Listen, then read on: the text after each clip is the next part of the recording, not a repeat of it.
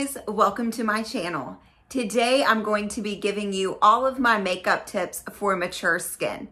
If you struggle with products settling into fine lines and wrinkles, or if you're dealing with any dryness, this video is for you. So typically as we age, the oil glands in our face stop producing oil like they once did. This is why when you get older, typically you are drier, you have more fine lines and wrinkles because that hydration is no longer there to keep your skin dewy and supple. So we want to add hydration in. I'm going to be giving you all of my tricks, all of my tips on just how to do that. If you are new to my channel, be sure to subscribe. And if you like the video, be sure to give it a thumbs up. I cannot believe I almost forgot to mention my model today is my beautiful mother. Thank you so much for joining me so I could do your makeup and make you look even younger than you already do. All right, we're starting off with priming the eyelids with the IT Cosmetics Bye Bye Under Eye Full Coverage Concealer. Now, this is a hack that I use. Instead of using an eye primer for your shadow, just use your concealer. Most concealers work great with this. Um, I just take the concealer from the lash line all the way up to right underneath the brow. And you can see I'm using my finger and also the brush. We just want to make sure it's buffed in very nicely. Now, this concealer is a little bit lighter um, than I would usually go for, but we are making it work. She's nice and bronzed from her vacation. So for eyeshadow, I am going to use the Scott Barnes Sculpting Palette, which is bronzer. I am going to take the bronzer and really work it into her crease, as you will see. A bronzer is a fantastic way to get a really pretty shadow, and it's kind of foolproof. I'm taking a fluffy brush and working that bronzer from the outside of the eyelid into the inner corner. Now, if you watch, I'm not being super particular. It actually looks like it's on a time lapse. I'm going so fast, but I'm not, I promise. So I'm working it in, taking it and dragging that product. Again, nothing at all, nothing particular at all, and taking the bronzer and working it a little bit down on the eyelid. If you want this look to be a little more dramatic and still want to use a bronzer, you can honestly pack it on the lid if you would like. There's nothing more timeless than natural shades. I really believe that, and that is exactly what we're going for. Okay, for the brow, I am going to use the Benefit Precisely My Brow. Now, there is nothing more youthful than a lifted brow. It frames the face and really can give an eye lift and make you look so much younger. So I'm taking the product from the inner corner and working it up towards the arch. I'm kind of framing out the brow right now. And then now I'm taking the tail down. You can see they're quick hair-like motions. We want it to look like hair. We don't want to look like it's been drawn on. So I'm really working on that tail. And then I take the pencil on the hair in the inner corner and go up because that is how it naturally grows. Now, as we age and mature, our brows thin. So that is why a full natural looking brow makes us look younger because when we're younger, we have more hair in our brows. And as we age, it thins out. So you'll really be able to see the difference that those brows make on her face. But I am going to go ahead and film that other brow off camera. I'm using the NYX Professional Makeup Retractable Eyeliner. This is in the shade brown. I love this shade for everyone. And I'm taking that pencil right in her waterline. So you'll see I have her look up. Now, I tried to zoom in so you could see, but I'm taking the liner and working that in her waterline and on her lash line and buffing it in. Now, you don't have to be super particular. You'll see here in just a second. I'm actually going to take an angled brush and buff that shadow out and there's nothing wrong with that. I always, always go in with an angled brush and buff out my liner because I think it's much prettier than a harsh line. Okay, so anytime there's any puffiness on the lid or the under eye, I always start with eyes first because there's always transfer that happens for the under eye. So I'm just wiping that away before I prep the skin for foundation. So let's go ahead and jump in and talk, talk about some tips. For mature skin, you want to always be sure to apply a serum before your foundation. As I had said earlier, as we age, our sebaceous glands stop producing as much oil as they did when we were younger. So that can kind of leave that product just sitting on the face. It can get dry and crepey, and it's not a good look. You want to look for products with ingredients like hyaluronic acid and niacinamide. Both of these products add hydration to the skin. Prepping the skin with a serum will help your foundation glide on easier and prevent your products from settling into fine lines and wrinkles. I am going in with the Milk Makeup Hydra Grip Hydrating Primer. This is a 10 out of 10 recommend. It is more like a serum than a primer. I usually do not use primers, but it is fantastic. It's all the rage right now. It's won all kinds of awards. The reviews on it are fantastic. It is loaded with hyaluronic acid and niacinamide, which again, leaves that skin very hydrated, which only helps the product that we add on later, the foundation and concealer, to look flawless and very dewy. An area of our skin that typically gets neglected when we are prepping our skin for makeup is our under eye area. Now, you do not have to spend a bunch of money on an eye cream. You can use an eye cream, but you can also use a facial cream or moisturizer, just something a little bit heavier than what you use all over your skin. Prepping your under eye area will just help your makeup not settle. Even if you're not using a concealer, then you are still taking that foundation up to your under eye and it is just not pretty if it settles into fine lines and gets crepey and dry and yucky. Now I am using the Kiehl's Creamy Eye Treatment with avocado for her under eye area. I feel like this product tends to brighten a little bit and I really do like it. Now you'll see I'm taking my ring finger to apply this product. It just helps with not using too much force with that really delicate skin under her under eye. But again, hydration, hydration, hydration. This will help your product go on very smoothly. And I really think it will make all the difference and you'll be happy with it. Okay, so before applying her foundation, I'm going to give you a few tips on what to look for in a foundation for mature skin. Now, don't be mistaken. This can be anywhere from mid to late 30s up. There are so many foundation products on the market, it can definitely get a little overwhelming. But in the last few years, I have noticed an increase of foundations with skincare properties in them. You are looking for ingredients like niacinamide and hyaluronic acid that can be found within that foundation. Now, if you already have a foundation that you're happy with, but it does seem to be a little drying or too matte, don't be afraid to add a facial oil to that foundation.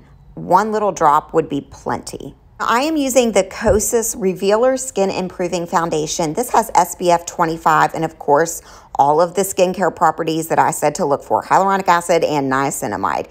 Now, this is advertised as more of a skincare product than a foundation, but it is, as you can see, a foundation with medium coverage. Now I kind of just slop that foundation on her face and then I blend out. Now if you notice here, I'm avoiding the under eye area because we are going in with a concealer later and we don't want layers of product because the more product you have on the skin, the more product that will settle. So less is definitely more when we are talking about a dewy, flawless finish and no settling into fine lines or wrinkles. Now, I always take the product and I work from the center and work my way out and up towards the temple. I love to use a flat top foundation brush. I just like the way that it maneuvers the product. I don't feel like it leaves any streaks or lines. Um, I do use a beauty blender sometimes. You'll see here later, and I'll show you how I use it and why I use it. But for the most part, I tend to stick with a flat top foundation brush. Now for her contour, I wanted to use something that was liquid or cream. I love to use liquid and cream, and if it's too oily, we can always go back and set it with a powder. But this is the Makeup Revolution Conceal and Define. It's actually a concealer, but I'm using it in the shade C13. Now typically I would go for um, a higher end product than this, but the color just matched perfectly for a contour. Now, if you've watched any of my previous videos, you know that I absolutely love this NYX Cosmetic fan brush for contouring. It just fits so nicely, especially under that cheekbone and helps blend that product out.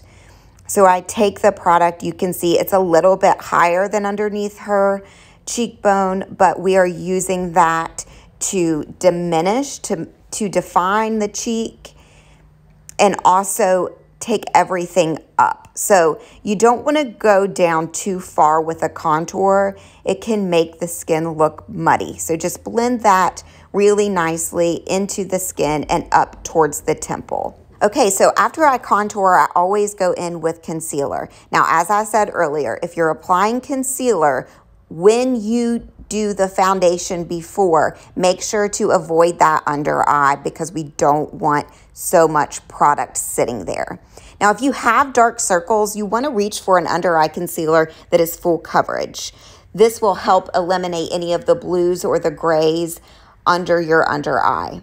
If your concern is not the darkness and your concern is lifting, you could even go for a medium coverage concealer, but be sure to choose one that is hydrating.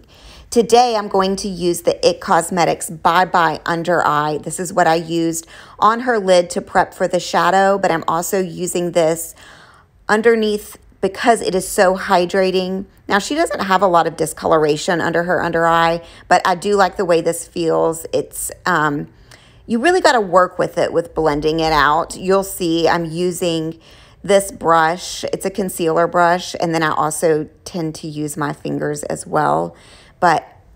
With concealer, it's not just under eye, anything that you want to bring forward. So this is why they call this the highlight for the highlighting and contouring. It's not the actual highlight product that you're used to seeing with the shimmer in it is actually concealer. So highlight for the highlight and contour is always concealer. And what happens with the highlight is we want to bring that part of the face forward.